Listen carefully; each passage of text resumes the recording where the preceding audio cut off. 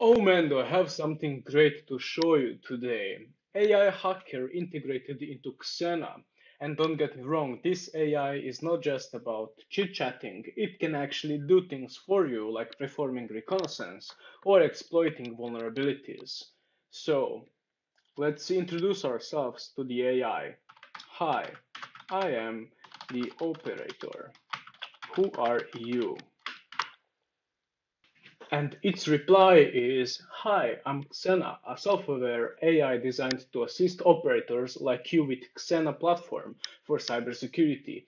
I'm an expert in coding and cybersecurity, and my purpose is to help with automation via pipelines and remote control of computers through agents. I'm here to support you with any task or operations you need, whether it's scanning, task management, or executing commands. How can I assist you today? So, for starters, uh, let's say that uh, when you're engaging with a target, you want to scan for open uh, ports. So, um, can you scan localhost for me in search of open ports related to web services? And the results are in. It replied, I'll help you scan localhost for open ports related to web services using Nmap. I will focus on common web services ports like 80, 443, 8080, etc. and use appropriate flags for uh, throughout scan. So basically here we can see the command that it uh, have executed. Um, in this case, it used XML um, not quite human readable, but uh, you can also tell it, hey, can you display these results in JSON or XML or some other format. However, in this case, I have not specified. Uh, let's see. Let's actually ask it to do it. Um, perform the scan of localhost searching for open ports related to web services and keep the output human readable. All right, our results are in. In this case, it showed us the human readable format of Nmap scan and uh, only 8080 port is open, which is actually the port on which the Xena C2 server is listening on. And it also did some fingerprinting. Um, all right, let's uh, do something else. When you're doing engagement with the target, you also want to get more information about the domain. So in this case, we can ask it um, perform subdomain enumeration of duckduckgo.com. Alright, so the subdomain enumeration scan has been complete and as you can see we got a lot of hosts. So basically, I'll perform subdomain enumeration for duckduckgo.com using a subfinder tool to discover subdomains through passive online sources. And as you can see, it's quite uh, comprehensive. Um, I want to show you something else as well. You can also ask it to do things for you through the chat, but also you can go to task, which is similar to Jira, where you can create a task, for example, scanning of local host using a tool such as Nmap scan localhost for RDP related ports.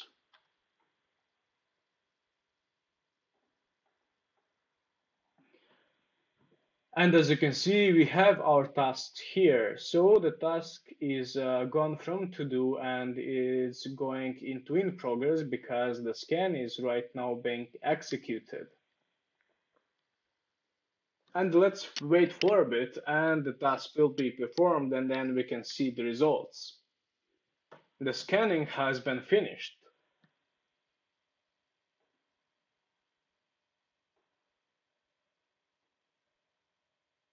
Let's see. Okay, you can see here some details about the task and here Xena said, I'll help you scan localhost for RDP related ports using Nmap. The default ports for remote desktop protocol, blah, blah, blah, blah, blah.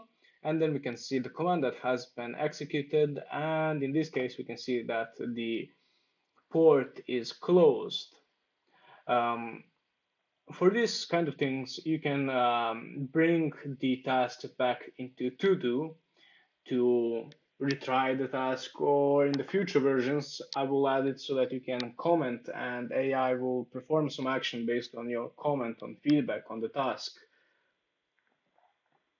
Um, the point here is in the next update I will push um, targets tab where you can add domains etc where AI will see a target that is approved by you and it's going to create a bunch of tasks for reconnaissance, exploitation, information gathering, etc. And then it's going to perform all of those tasks for you.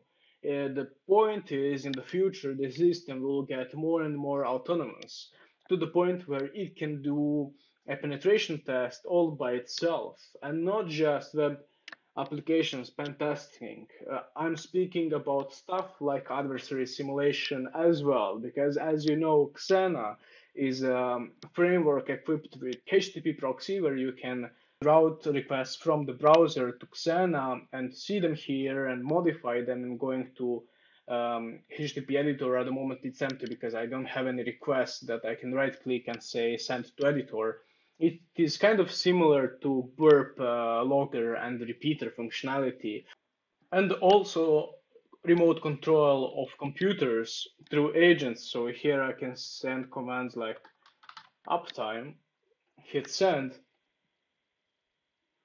and the agent will reply.